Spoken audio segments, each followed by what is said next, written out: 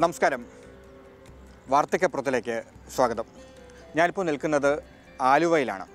ആലുവയിൽ കൃത്യമായി പറഞ്ഞാൽ ആലുവയിൽ പെരിയാർ തീരത്ത് ശിവരാത്രി മണപ്പുറത്ത്. രണ്ടാഴ്ച മുമ്പായിരുന്നു ശിവരാത്രി. ശിവരാത്രി കഴിഞ്ഞുവെങ്കിൽ പോലും ഇവിടുത്തെ തിരക്ക് ഇപ്പോഴും അവസാനിച്ചിട്ടില്ല. എന്തൊക്കെ വ്യാപാരമേള അടക്കം എന്തൊക്കെയോ പരിപാടികൾ ഇവിടെ നടക്കുന്നു. പെരിയാറിന്റെ തീരം ഏറ്റവും വളരെ ശാന്തമായ ഒരു സ്ഥലം. പുഴ ഒഴുകുന്നു. ധാരാളം ആളുകൾ ഇപ്പോഴും പുഴത്തീരത്ത് സമയം ചെലവിടാനായി രാവിലെയും വൈകിട്ടുമെല്ലാം വരുന്ന ഒരു സ്ഥലമാണ്.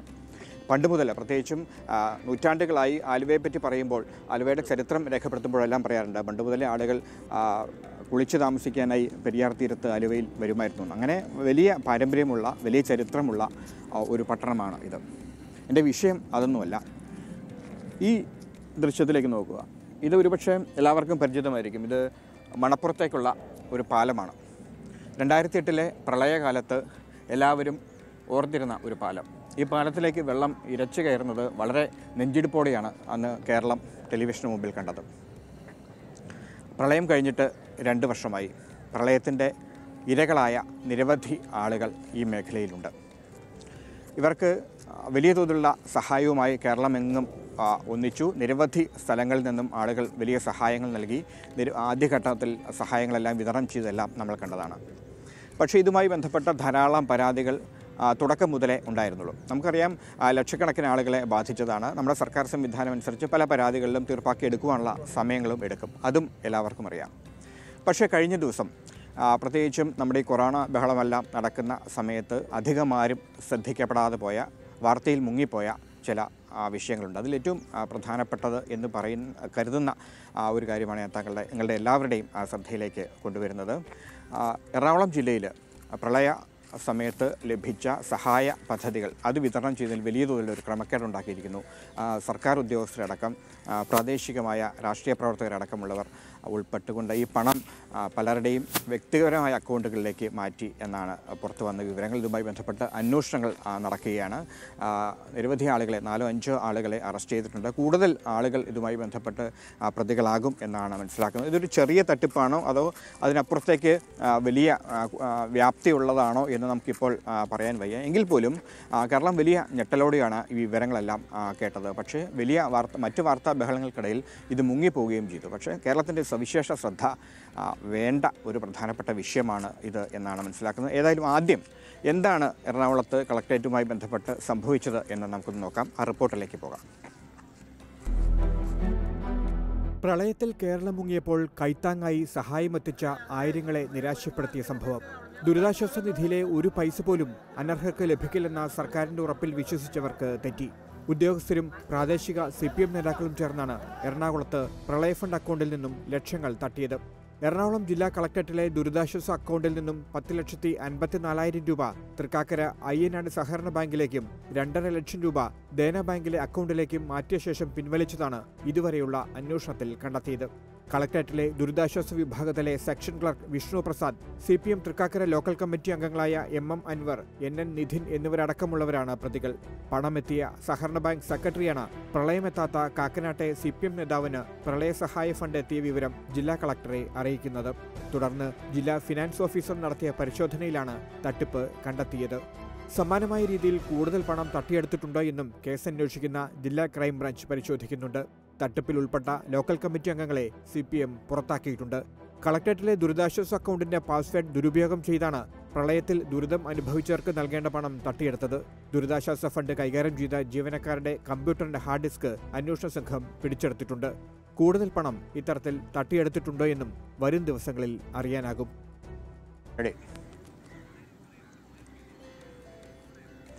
വയനാട്ടിൽ കഴിഞ്ഞ ദിവസം ഒരു ഗ്രഹനാഥൻ ഇത്തരത്തിൽ സഹായം ലഭിക്കാതെ ആത്മഹത്യ ചെയ്ത വലിയ ഒരു ദുരന്ത ചിത്രം നമ്മളെല്ലാവരും കണ്ടതാണ്. ടെലിവിഷനോടെ അടക്കം ആ വീട്ടുകാരുടെ വിഷമം കണ്ടതാണ്.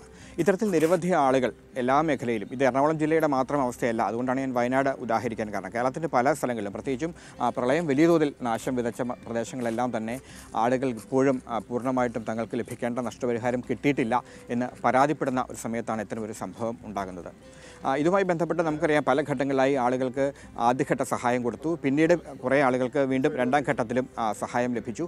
പക്ഷേ ഇതുകൊണ്ടൊന്നും തങ്ങളുടെ നഷ്ടം നികത്താൻ കഴിയുന്നില്ല എന്ന് ആളുകൾ പറയുന്നുണ്ടായിരുന്നു. അതിനെ തുടർന്ന് ഒരു പരാതി പരിഹാര സെല്ല് രൂപീകരിച്ചു. എറണാകുളത്ത് പ്രവർത്തിക്കുന്ന ആ സെല്ലിലേക്ക് എല്ലാ ദിവസവും നൂറുകണക്കിന് ആളുകളാണ് വരുന്നത്. ഒരു പക്ഷേ രാവിലെ ഒരു പതിനൊന്ന് മണിയൊക്കെ ആകുമ്പോഴേക്കും ആ മേഖല തന്നെ നിറഞ്ഞ് വലിയ ക്യൂ എല്ലാ ദിവസവും ഒരു കാഴ്ചയാണ്. ഇത്തരത്തിൽ ആളുകൾ കഷ്ടപ്പെട്ട് തങ്ങൾക്ക് ലഭിക്കേണ്ട അർഹതപ്പെട്ട പണം വേണം എന്ന് അഭ്യർത്ഥിച്ചുകൊണ്ട് സർക്കാർ ഓഫീസുകൾ കയറി കയറിയിറങ്ങുമ്പോഴാണ് മറുവശത്ത് ഇത്തരമൊരു ഞെട്ടിപ്പിക്കുന്ന ഒരു സംഭവം നടന്നത്. ഇന്നലെ വൈകിട്ട് ഞങ്ങളുടെ ലേഖകൻ എൻ കെ ഷിജു ഈ പരാതി പരിഹാര സെല്ലിൽ പോയിരുന്നു. അവിടുത്തെ കാഴ്ചകൾ എന്തായിരുന്നുവെന്ന് ഷിജു തന്നെ പറയും.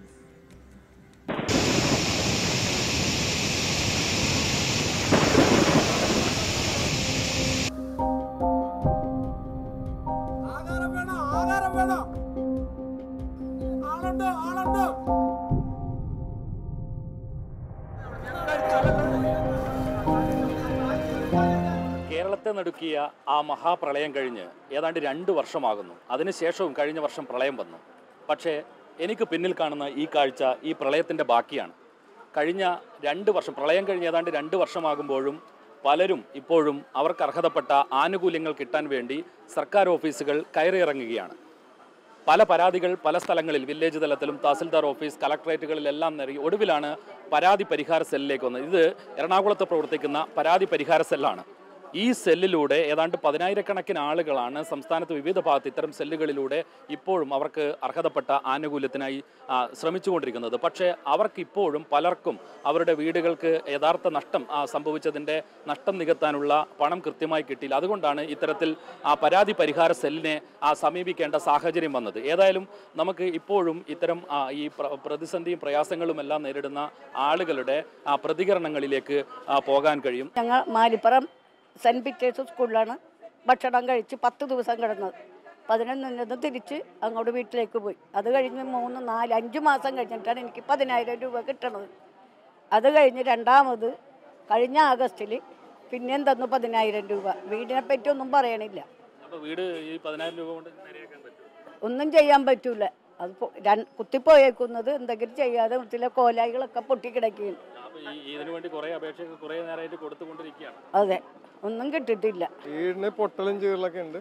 പൈസയൊക്കെ പതിനായിരം രൂപ കിട്ടിയിട്ടുണ്ട്. ആളുകൾക്ക് പ്രളയം ഇല്ലാത്ത ആളുകൾക്ക് പത്തര ലക്ഷം രൂപ കിട്ടുന്നതൊക്കെ അറിയുന്നുണ്ട്? പൂവ ഞങ്ങൾ അറിയുന്നുണ്ട്? അർഹതപ്പെട്ട ആൾക്കാർക്ക് ഇല്ല അല്ലാത്തവർക്കൊക്കെ ഉണ്ട്. വീട് ആകെ പൊട്ടിപ്പൊളിഞ്ഞ് ബാത്റൂമൊക്കെ പൊട്ടിപ്പൊളിഞ്ഞ് ആകെ താർമാരിൽ കിടക്കുകയാണ് ഞങ്ങൾക്ക് ഇതിനു മുമ്പും അപേക്ഷ കൊടുത്തിട്ട് ആകെ കിട്ടിയേക്കണ ഒരു പതിനായിരം രൂപയാണ്. അതിനുശേഷം ഒന്നും ഞങ്ങൾക്ക് കിട്ടിയിട്ടില്ല. ഞങ്ങൾ ഇതിനു വേണ്ടി വീണ്ടും ഞങ്ങൾ ഇട്ട് അലയിപ്പിക്കുകയാണ് ഇപ്പോഴത്തെ സർക്കാർ ഞങ്ങൾക്ക് എന്തെങ്കിലും കിട്ടിക്കഴിഞ്ഞാൽ ഞങ്ങളുടെ വീട് കടം മേടിച്ചാണ് ഇപ്പം ഞങ്ങൾ ഓരോ വീട് വീടിന്റെ പണികളെല്ലാം തീർത്താക്കണേ. ഞങ്ങളിപ്പോൾ ആ പൈസ ഞങ്ങൾക്ക് തിരിച്ചു കൊടുക്കാനായിട്ട് മേടിച്ചവർക്ക് കൊടുക്കാനായിട്ട് പറ്റുന്നില്ല. ഇത് കിട്ടിയാൽ എന്തെങ്കിലും കിട്ടി കൊടുക്കാന്നുള്ള ആ, കുറേയായി. ഞങ്ങൾ പഞ്ചായത്തുകളിലും മെമ്പർമാരോടെല്ലാം പറഞ്ഞിട്ട് പരിഗണിക്കാതെ ഇപ്പം ഞങ്ങൾ വീണ്ടും വില്ലേജിലൊക്കെ പോയി രണ്ടാമത് ഇപ്പോൾ അപേക്ഷയൊക്കെ ആയിട്ട് ഇവിടെ വന്നാക്കിയത്. ഞങ്ങൾക്ക് എന്തെങ്കിലും കിട്ടുമെന്നുള്ള പ്രതീക്ഷയിലാണ് ഞങ്ങൾ ഇപ്പോഴും അലഞ്ഞുകൊണ്ടിരിക്കുന്നത് വീടിനെ ഓടുമ്പോഴാണ് കംപ്ലീറ്റ് തറന്നുപോയി എന്നിട്ട് എത്ര പൈസ കിട്ടി? എഴുപതിനായിരം രൂപ കിട്ടി. അതുകൊണ്ട് വീടിന്റെ പണിയൊക്കെ ഒന്നും ചെയ്തിട്ടില്ല ഒന്നും ചെയ്തിട്ടില്ല. വെള്ളം കയറാത്തടത്ത് വരെ പൈസ മേടിച്ചിട്ടുണ്ട്. ഞാൻ അർഹതപ്പെടാൻ കിട്ടിയിട്ടില്ല. പ്രതീക്ഷയില്ല ഇത് അപേക്ഷ കൊടുക്കാൻ പറഞ്ഞ് കിട്ടിയാൽ കിട്ടി. പോയാൽ പോയി. പുതിയ വീടായിരുന്നു. പക്ഷെ ചുമരിനൊന്നും ഡാമേജ് ഇല്ല ടൈൽസ് പിന്നെ അതേപോലെ തന്നെ ഇലക്ട്രോണിക്സ് ഉപകരണങ്ങൾ ഷോ കേസ് അങ്ങനെയുള്ള സാധനങ്ങളൊക്കെ ഒരുപാട് നഷ്ടപ്പെട്ടിട്ടുണ്ട്. മോട്ടർ വണ്ടി എന്തെങ്കിലും പൈസ കിട്ടിയോ? ആകെ പതിനായിരം രൂപയാണ് ക്ലീൻ ചെയ്യാനുള്ള പൈസയാണ് കിട്ടിയത്. ഞങ്ങൾ മാട്ടുപുറം. എന്താ വീടിന് പ്രളയത്തിലൊക്കെ വീട് നശിച്ചു? അല്ല നശിച്ചു സാധനങ്ങൾ നശിച്ചു വീട് എന്നിട്ട് എന്തെങ്കിലും പൈസ കിട്ടിയോ? പതിനായിരം രൂപ കിട്ടിയിട്ടുള്ള ആകെ. അതിനുശേഷം എത്ര കാലമായി ഇങ്ങനെ അപേക്ഷ കൊടുക്കുന്നു? ഇപ്പൊ നാലാമത്തെ വർഷം രണ്ടാമത്തെ വർഷമല്ലേ ഇപ്പൊ. അതുവരെ കൊടുത്തു ഞങ്ങൾ വീടിന് ഒരുപാട് നാശനഷ്ടങ്ങൾ പറ്റിയിട്ടുണ്ട്. പത്ത് രൂപ വേണ്ടിയേ ഉള്ളൂ. വേറെ ഒന്നും കിട്ടിയില്ല. അത് രണ്ടു പ്രാവശ്യം തല്ലിട്ട് മേടിച്ചതാണ്. അല്ലാതെ നമ്മളെ ലിസ്റ്റിലുണ്ടായില്ല. അവിടെയൊക്കെ വെള്ളം വരാത്തവർക്കാണ്. ഒരു തുള്ളി വെള്ളം കയറാത്ത ആൾക്കാർക്കാണ് കിട്ടിയത്. രണ്ടു ലക്ഷം ഒന്നര ലക്ഷം ഒക്കെ. ഞങ്ങൾക്കൊക്കെ പത്ത് പൈസ തന്നില്ല. ഞങ്ങളെ ഞങ്ങൾ ഇടവനക്കാട് കുളിപ്പുള്ളി. വെള്ളം അഞ്ച് പേരേലിട്ട് വലിച്ചിരുന്ന ആൾക്കാരാണ് ഞങ്ങൾ. ഞങ്ങൾക്കൊന്നും പത്ത് രൂപ ആണ് ഞങ്ങൾക്ക് പതിനായിരം രൂപ. അന്വേഷണം വേണം. അതിന് അർഹതപ്പെട്ടവർക്ക് കിട്ടിയിട്ടില്ല. അർഹത ഇല്ലാത്തവർക്ക് കിട്ടിയാണ് അത് അന്വേഷിച്ചിട്ട് അർഹതപ്പെട്ടവർക്ക് കൊടുക്കണോ വളരെ ബുദ്ധിമുട്ടുള്ള കാര്യമാണ് ഇപ്പൊ നടന്നുകൊണ്ടിരിക്കുന്നത്. ഒരു വ്യക്തമായ ഒരു അന്വേഷണം ഒരു ആവശ്യമാണ്. കാരണം പറയാനുള്ള കാരണം എന്ന് വെച്ചാൽ എന്റെ തൊട്ടപ്പുറത്തെ വീട്ടിൽ ഒന്നേകാൽ ലക്ഷം രൂപയും അതിന് തൊട്ടപ്പുറത്തെ വീട്ടിൽ രണ്ടേകാല ലക്ഷം രൂപ കിട്ടിയ ആൾക്കാരുണ്ട്. എന്റെ വീടിന്റെ മോളി കൂടി വെള്ളം പോയത്. ഈ ഫോട്ടോസ് കണ്ടാൽ നിങ്ങൾക്ക് മനസ്സിലാവും. അതായത് വീടിന്റെ മോളി കൂടി വെള്ളം പോയി ഇതിനകത്ത് നിന്നും കിട്ടിയിരിക്കുന്നത് പതിനായിരം രൂപയാണ്. ഇത് ഒരു ഒറ്റപ്പെട്ട സംഭവമല്ല. കാരണം സംസ്ഥാനത്തെ വിവിധ സ്ഥലങ്ങളിൽ ഇതുപോലെ പതിനായിരങ്ങൾ അർഹതപ്പെട്ട ആനുകൂല്യത്തിനായി ഇങ്ങനെ ക്യൂ നിൽക്കുകയാണ് വർഷങ്ങളായി. കഴിഞ്ഞ രണ്ട് വർഷത്തിന് ശേഷവും പതിനായിരം രൂപ മാത്രം കിട്ടിയവരാണിവർ. ഇത്തരം ആളുകളുടെ പ്രശ്നങ്ങൾ ഇങ്ങനെ നിൽക്കുമ്പോഴാണ് ഒട്ടും അർഹതയില്ലാത്ത നിരവധി പേർ ലക്ഷങ്ങൾ തട്ടുന്നത് എന്നത് വളരെ വേദനാജനകമായ കാര്യമാണ്. ഇക്കാര്യത്തിൽ ഒരു നല്ല അന്വേഷണം വേണമെന്നാണ് ഇവരടക്കം പറയുന്നത് അഭിലാഷ്. ഇത് എല്ലായിടത്തും ഉള്ള അവസ്ഥ തന്നെയാണ്. കാരണം എല്ലാ ജില്ലകളിലും ഞാൻ നേരത്തെ സൂചിപ്പിച്ച പോലെ എറണാകുളത്ത് മാത്രമല്ല ആ പ്രളയമുണ്ടായത് പല ജില്ലകളിലുമുണ്ട്. പക്ഷേ പലയിടങ്ങളിലും ആളുകൾ പൂർണമായും തൃപ്തരല്ല. നമുക്കറിയാം തങ്ങളുടെ വീടുകളിൽ വെള്ളം കയറിയതാണ്. വലിയ തോതിലുള്ള നഷ്ടമുണ്ടായി. ആദ്യഘട്ട നഷ്ടപരിഹാരം പര്യാപ്തമല്ല എന്നവർ പറയുന്നു. സ്വാഭാവികമായിട്ടും കൂടുതൽ പണവും കൂടുതൽ നഷ്ടപരിഹാരവും അവർ ആഗ്രഹിക്കുന്നുണ്ടാകാം. ഇതുമായി ബന്ധപ്പെട്ടുള്ള നടപടിക്രമങ്ങൾ വലിയ തോതിൽ വൈകുന്നു. ആ രീതിയിലുള്ളൊരു നിരാശ ആളുകൾക്കുണ്ട്. കാരണം തങ്ങൾക്ക് ലഭിക്കേണ്ട പണം സർക്കാരിന്റെ കൈവശത്തിൽ ഉണ്ട് എന്ന് സർക്കാർ തന്നെ പറയുന്ന പണം തങ്ങൾക്ക് എന്തുകൊണ്ട് വിതരണം ചെയ്യുന്നില്ല എന്നായിരിക്കാം ഒരുപക്ഷെ ആളുകൾ ചോദിക്കുക. അത്തരം ഒരു നമുക്കറിയാം ഇതൊരു ദീർഘനാൾ നീണ്ടു നിൽക്കുന്ന ഒരു പ്രോസസ്സാണ്. പ്രത്യേകിച്ചും നമ്മുടെ സർക്കാരിന്റെ കാര്യമാണ്. പ്രത്യേകിച്ചും കടലാസുകളൊക്കെ കൃത്യമായി അർഹമായ ആളുകൾക്ക് തന്നെ ലഭിക്കണം. അതുമായി ബന്ധപ്പെട്ടുള്ള നടപടിക്രമങ്ങൾ വൈകുന്നു എന്നതാണ് പല ഘട്ടങ്ങളിലും ഒക്കെ റവന്യൂ വകുപ്പിന്റെയും ഈ ദുരിതാശ്വാസ പ്രവർത്തനത്തിന് നേതൃത്വം നൽകുന്ന ഉദ്യോഗസ്ഥരെല്ലാം നൽകുന്ന വിശദീകരണം. ആ സമയത്താണ് വളരെ ഞെട്ടിപ്പിക്കുന്ന ഇത്തരത്തിലുള്ള സംഭവങ്ങൾ ഉണ്ടായത്. എന്നോടൊപ്പം എറണാകുളത്തെ കളമശ്ശേരിയുള്ള വിവരാശ പൊതുപ്രവർത്തകൻ കൂടിയായ ഗിരീഷ് ബാബു ഉണ്ട്. ഗിരീഷ് ബാബുവാണ് ഈ വിഷയം യഥാർത്ഥത്തിൽ പുറത്തേക്ക് കൊണ്ടുവന്നത്. ആളുകളുടെ ശ്രദ്ധയിലേക്കും മാധ്യമങ്ങളുടെ ശ്രദ്ധയിലേക്കുമെല്ലാം ഈ വിഷയം എത്തിച്ചത് ഗിരീഷ് ബാബു ആയിരുന്നു.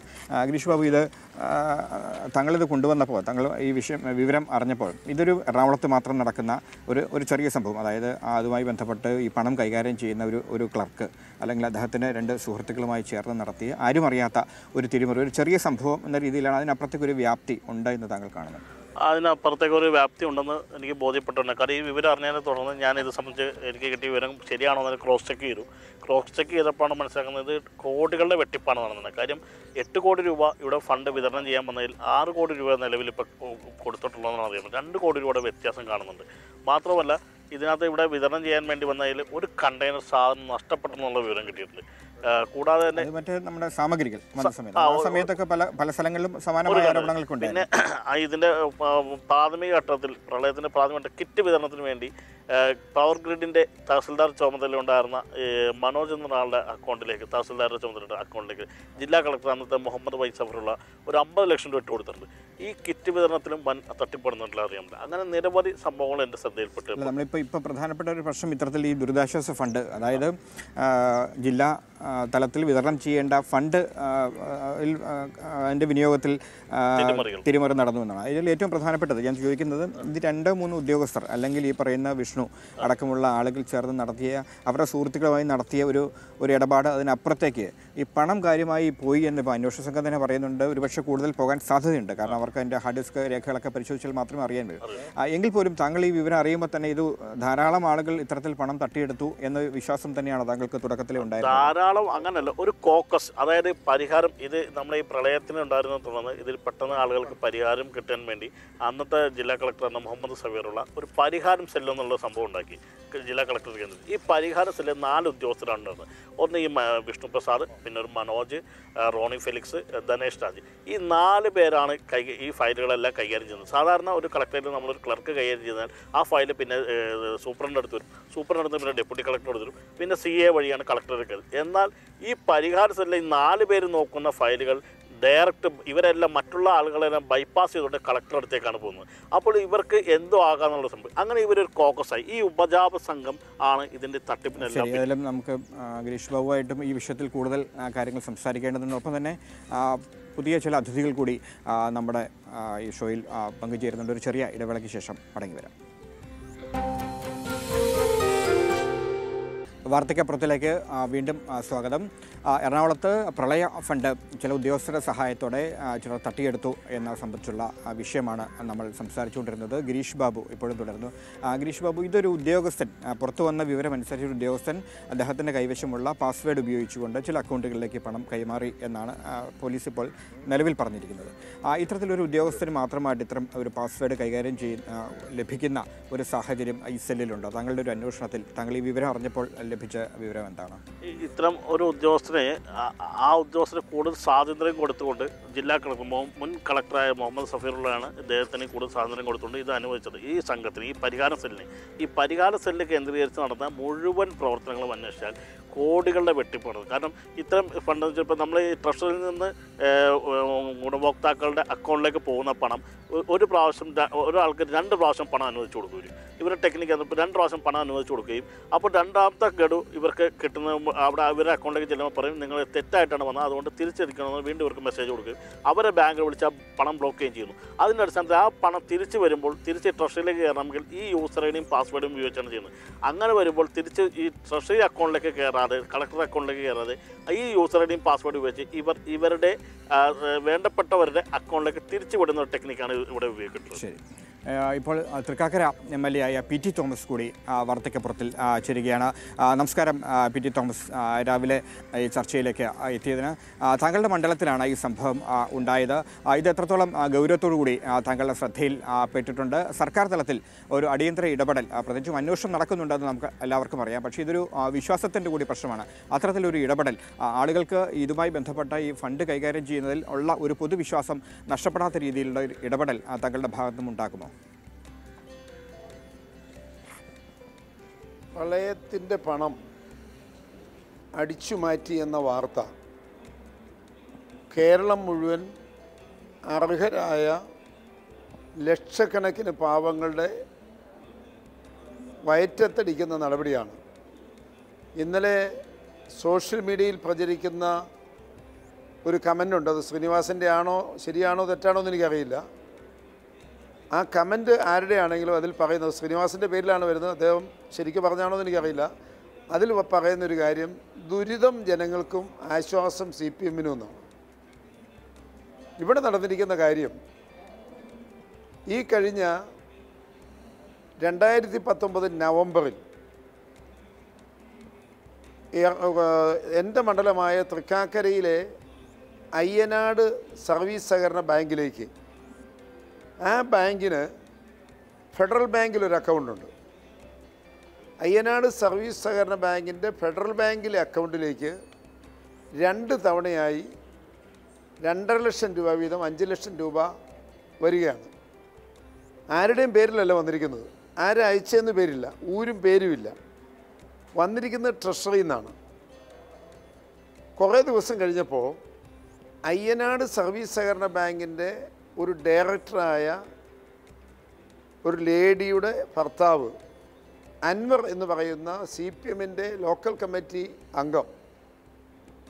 ഈ ബാങ്ക് സെക്രട്ടറിയെ സമീപിച്ച് പറയാണ് ഈ പണം എന്റേതാണ്. എനിക്കത് വിഡ്രോ ചെയ്യണം. അപ്പം സെക്രട്ടറി പറഞ്ഞു നിങ്ങളുടെ പണമാണെന്നുള്ളതിന് യാതൊരു തെളിവുമില്ല. അതുകൊണ്ട് അങ്ങനെ ചെയ്യാൻ പറ്റില്ല എന്ന് പറഞ്ഞു. സെക്രട്ടറി കൊടുത്തില്ല. ഉടനെ സി പി എമ്മിന്റെ കളമശ്ശേരി ഏരിയ കമ്മിറ്റിയുടെ സെക്രട്ടറി സക്കീർ ഹുസൈനും ഈ ബാങ്കിന്റെ പ്രസിഡന്റ് ജയചന്ദ്രനും കൂടി ഈ സെക്രട്ടറിയെ സമ്മർദ്ദം ചെലുത്തി ആ സഖാവ് നമ്മുടെ സഖാവല്ലേ ആ സഖാവിന്റെ ഭാര്യ നമ്മുടെ ഡയറക്ടറല്ലേ പിന്നെ കൊടുക്കുന്നതിന് എന്താ കുഴപ്പം എന്ന് പറഞ്ഞ് സമ്മർദ്ദം ചെലുത്തി ഈ സെക്രട്ടറിയെ കൊണ്ട് ഈ പണം വിഡ്രോ ചെയ്യാൻ അനുവദിച്ചു എന്നാണ് പറഞ്ഞു കേൾക്കുന്നത്. പുറത്തു വന്നിരിക്കുന്ന വാർത്തയാണ് എത്രമാത്രം ശരിയാണെന്ന് എനിക്കറിയില്ല. Shri P T Thomas.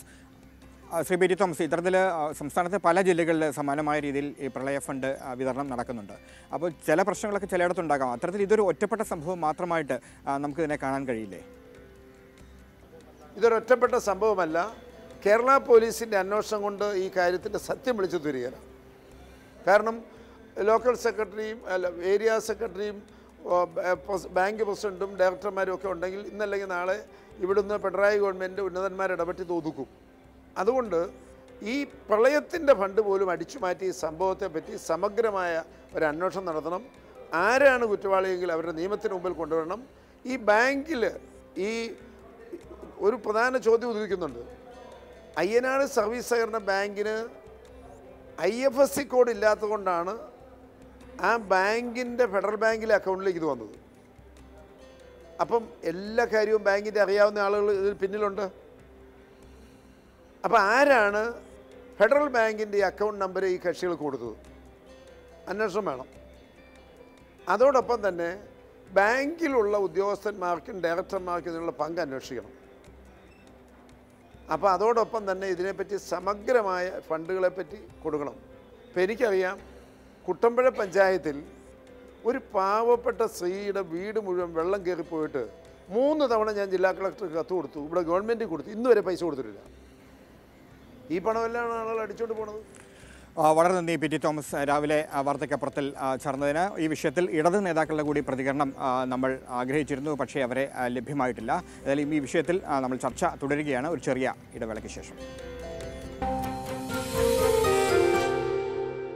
പ്രളയം തകർത്തെറിഞ്ഞ ആലുവയിൽ വെച്ച് തന്നെ ഈ വിഷയം ചർച്ച ചെയ്യണം എന്നാഗ്രഹിച്ചുകൊണ്ടാണ് ഞങ്ങൾ ഇവിടെ എത്തിയത്. ഇന്ന് രാവിലെ ഈ മണപ്പുറത്ത് എത്തിയപ്പോൾ ഇവിടെയുള്ള നാട്ടുകാരായ ആളുകളെ കൂടി ഞങ്ങൾ കണ്ടു. അദ്ദേഹം മണിച്ചേട്ടൻ അദ്ദേഹത്തിന്റെ വീട് തൊട്ടടുത്ത് ഈ ക്ഷേത്രത്തിന്റെ തൊട്ടടുത്താണ് എന്ന് പറഞ്ഞു. അദ്ദേഹത്തിന്റെ വീട് സ്വാഭാവികമായിട്ടും നമുക്കറിയാം വീട് മുങ്ങിയിട്ടുണ്ടാകും. കാരണം ഈ മേഖല മുഴുവൻ അന്ന് മുങ്ങിയത്. ആ ഫ്ലാറ്റിന്റെ എവിടം വരെ വെള്ളം വന്നതെല്ലാം നമ്മൾ കണ്ടതാണ്.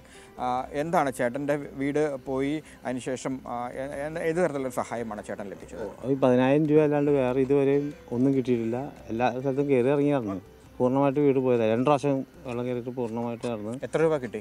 പതിനായിരം രൂപ അല്ലാണ്ട് വേറെ ഒന്നും കിട്ടി കിട്ടിയില്ല പിന്നീട് ഇതുമായി ബന്ധപ്പെട്ട സർക്കാർ അപേക്ഷ കൊടുത്തിട്ടുണ്ട്? ചെല്ലാൻ പറഞ്ഞ് ചെല്ലും. അവർ ഓരോ കാര്യങ്ങൾ പറഞ്ഞ് വിടും. പിന്നെ ഞാൻ ഇപ്പൊ പോകാറില്ല മടുത്ത്. എങ്ങനെയാണ്? ഇത് തന്നെയാണ് ഈ പ്രദേശത്തൊക്കെ. കാരണം ഈ പ്രദേശം പൂർണമായിട്ടും മുങ്ങിയതാണ്. ധാരാളം വീടുകളിൽ വെള്ളം കയറി വലിയ നാശം ഉണ്ടായതാണ് എന്റെ എന്റെ വീടുകൾ മാരാട്ടിലയിൽ എന്ന് പറയും. ഈ പുഴ മുങ്ങി കഴിഞ്ഞപ്പോൾ ഉടനെ ആദ്യമായിട്ട് വെള്ളം കയറിയത് എന്റെ വഴിയിലാണ് മാരാട്ടിലയിൽ എന്റെ വീട്ടിൽ സീലിംഗ് ഫാൻ മുട്ടാനായിട്ട് നാലിഞ്ചോളം ഗ്യാപ്പ് ഉണ്ടായുള്ളൂ അത്രയും പൊട്ടി. പക്ഷേ എനിക്ക് ആകപ്പാട് കിട്ടിയത് ആ ക്ലീനിങ്ങിന് പതിനായിരം രൂപയാണ്. അല്ലാണ്ട് ഒന്നും തന്നെ എനിക്ക് ഇതുവരെയായിട്ടും കിട്ടിയിട്ടില്ല. ആദ്യമേ കൊണ്ടുവന്നുകൊണ്ട് സർവേ കോളേജ് സ്റ്റുഡൻസ് സർവേ എടുത്തു. പതിനഞ്ച് ശതമാനം എനിക്ക് നഷ്ടമുണ്ടെന്ന് പറഞ്ഞു. പിന്നെ ചേട്ടനും ഇത് തന്നെയായിരുന്നു അവസ്ഥ അല്ലേ? അതെ. എനിക്ക് രണ്ട് പ്രാവശ്യമായിട്ട് പത്ത് രൂപ കിട്ടി. പിന്നെ കംപ്ലൈന്റ് കൊടുത്തിട്ട് രണ്ട് പത്ത് രൂപ കിട്ടി. അതിനുശേഷം ഇപ്പോൾ കോടതി അദാലത്തിൽ കൊടുത്തിരിക്കുകയാണ്. മൂന്ന് പ്രാവശ്യം ഹിയറിങ് കഴിഞ്ഞു. എനിക്ക് ഒരുപാട് നാശനഷ്ടം വന്നു ഇവർ വന്നു കഴിഞ്ഞപ്പോൾ പരാതി പരിഹാര സെല്ലിൽ അപേക്ഷ കൊടുത്തിരിക്കുന്നവരാണോ ചേട്ടനടക്കം അതോ ഇത് വേണ്ടാന്ന് വെച്ചോ? ഇല്ല വേണ്ടാന്ന് വെച്ചിട്ടില്ല. ഇത് മൂന്ന് പ്രാവശ്യം ഇപ്പോൾ മാറ്റി നാലാമത്തെ മാറ്റി വെച്ചേക്കാം. അപ്പോൾ എനിക്ക് പറയാനുള്ളത് വെച്ച് കഴിഞ്ഞാൽ അർഹമായിട്ടുള്ള ഞങ്ങളെപ്പോലുള്ളവർക്കൊന്നും കിട്ടിയിട്ടില്ല. അല്ലാത്തവർക്ക് ഒരുപാട് പേര് വാരി കോരി കൊടുക്കണമെന്നാണ് പറഞ്ഞത്. ഇത്തരത്തിൽ ഇതൊരു ഒരു പൊതു പരാതിയായിട്ട് എല്ലാ സ്ഥലങ്ങളിലും ഉണ്ട്. ഇതിപ്പം ആലുവയിൽ നിന്നാണ് നമ്മൾ സംസാരിക്കുന്നതെങ്കിൽ പോലും ആലുവയിൽ മാത്രം പ്രശ്നമല്ല. എല്ലായിടത്തും സമാനമായ പരാതികൾ ആളുകൾ പറയുന്നുണ്ട്. ഒരുപക്ഷെ സർക്കാരിനും ഇക്കാര്യത്തിൽ വിശദീകരണം ഉണ്ടാകും. കാരണം ധാരാളം അപേക്ഷകൾ വന്നു. ഇതിൽ കൃത്യമായി പരിശോധനയ്ക്ക് ശേഷം മാത്രമേ പണം കൊടുക്കാൻ കഴിയുള്ളൂ. ഇതിന്റെ ഒരു കാലതാമസം എടുക്കും. പക്ഷേ അതിനിടയ്ക്കാണ് ഈ എറണാകുളത്തെ കളക്ട്രേറ്റിലെ ഈ സംഭവങ്ങളൊക്കെ ഉണ്ടായത്. സ്വാഭാവികമായിട്ടും അന്വേഷണം നടക്കുന്നുണ്ട്. എങ്കിൽ പോലും ജനങ്ങളുടെ കൂടി ഈ ഇത്തരത്തിൽ ദുരന്ത ബാധിതരായ ആളുകളെ കൂടി വിശ്വാസത്തിൽ എടുത്തുകൊണ്ട് വേണം. ഇനി സർക്കാരിന് ഈ വിഷയത്തിൽ ഇടപെടാനും പ്രവർത്തിക്കാനും. ഒപ്പം തന്നെ വലിയ പ്രളയം ഉണ്ടായപ്പോൾ ലോകമെങ്ങും നിന്നുള്ള സഹായം സംസ്ഥാന സർക്കാരിന് ലഭിച്ചു. ആ പണം കൊണ്ടാണ് ഈ പാവപ്പെട്ട ആളുകൾക്ക് ഇപ്പോൾ ധനസഹായം നൽകുന്നത്. അതുകൊണ്ട് അന്ന് പണം നൽകിയ അവരുടെ വിശ്വാസം കൂടി കാത്ത് സംരക്ഷിക്കേണ്ട ഒരു ഉത്തരവാദിത്വവും സംസ്ഥാന സർക്കാരുണ്ട്. സർക്കാർ ഇക്കാര്യത്തിൽ ശ്രദ്ധ ചെലുത്തും എന്ന് നമുക്ക് പ്രതീക്ഷിക്കാം. ഏതായാലും വാർത്തയ്ക്കപ്പുറം ഇവിടെ നിന്നും ഇന്ന് അവസാനിക്കുകയാണ്. മറ്റൊരു വിഷയവുമായി മറ്റൊരു സ്ഥലത്ത് വെച്ച് വീണ്ടും കാണാം. ഇനി ചുറ്റുവട്ടവുമായി ശീതൽ രാജ് ചേരും.